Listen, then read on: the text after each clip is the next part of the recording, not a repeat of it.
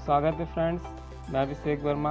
आज इस वीडियो के माध्यम से यूपी डी जिसका पुराना नाम बीटीसी के प्रीवियस ईयर के पेपर आप लोगों के बीच शेयर कर रहा हूँ। इससे पहले भी यूपी डी से संबंधित और भी प्रश्न पत्र वीडियो के माध्यम से आप लोगों के बीच शेयर कर चुके हैं। तो यदि आपने उन वीडियो को नहीं देखा है तो मैंने नीचे डिस्क्रिप्शन में उस प्ले लिस्ट का लिंक दे रखा है। आप वहाँ से जाके उन वीडियो को देख सकते हैं। तो आज का ये वीडियो यूपी डीलेट प्रथम सेमेस्टर 2019 बैच 2018 का कंप्यूटर का पेपर है, जो कि अष्टमें प्रश्न पत्र यानी कि आठवां प्रश्न पत्र है प्रथम सेमेस्टर में।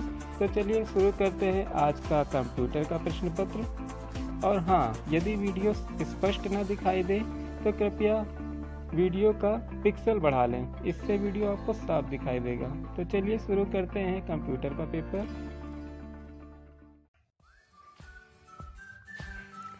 तो ये रहा यूपी डीलेट प्रथम सेमेस्टर 2019 का अष्टमी प्रश्न पत्र कंप्यूटर तो इसे जूम कर लेते हैं।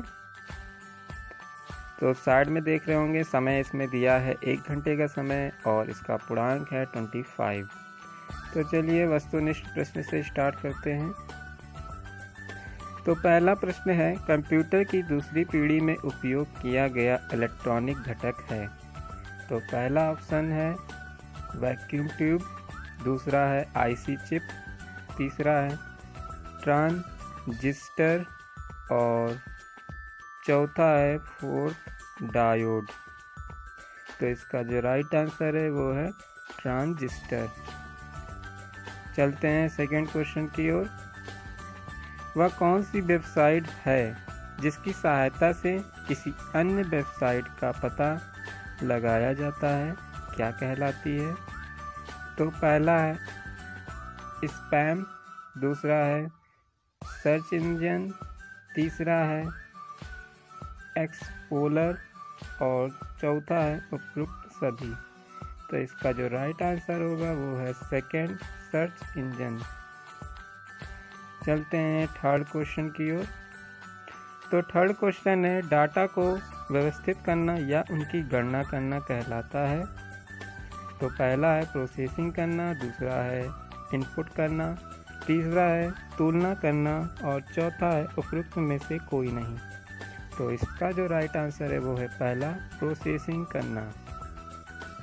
चौथा क्वेश्चन है यहाँ पे इंटरनेट पर उपलब्ध सूचनाओं को तलाश, यानी कि सर्च करने में हम प्रयोग करते हैं। तो पहला है याहू का, दूसरा है गूगल का तीसरा है बिंग का और चौथा है उपयुक्त सभी का।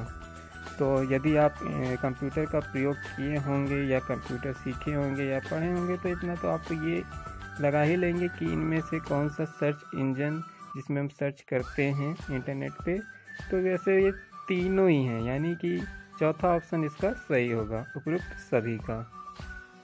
चलते हैं पांचवा प्रश्न की ओर। एम एस ऑफ़िस किसका उदाहरण है? तो पहला है हार्डवेयर का, दूसरा है सिस्टम सॉफ्टवेयर और तीसरा है एप्लीकेशन सॉफ्टवेयर और चौथा है वायरस। तो इसका राइट आंसर है एप्लीकेशन सॉफ्टवेयर, जो कि थर्ड है। तो चलते हैं नेक्स्ट पेज की ओर।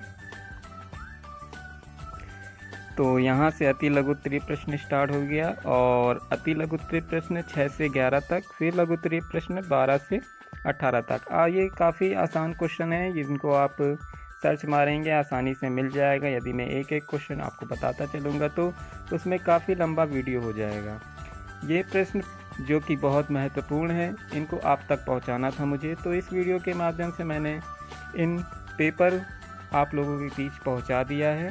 और इससे आपको एक आइडिया मिल जाएगा कि आखिर एग्ज़ामिनर मतलब पेपर में कैसे एग्ज़ामिनर प्रश्न बनाता है। क्योंकि आप लोगों का ये प्रथम सेमेस्टर है तो एक आइडिया नहीं मिल पाता है बच्चों को कैसे पेपर आएगा, कैसे क्वेश्चन होंगे। तो इससे एक आपको आइडिया मिल जाएगा कि कैसा पेपर आएगा और कैसा मतलब उसे के लिए हम तैयारी करें। तो इसको ज़्यादा से ज़्यादा लाइक करें शेयर करें सब्सक्राइब करें। Thanks for watching my video धन्यवाद।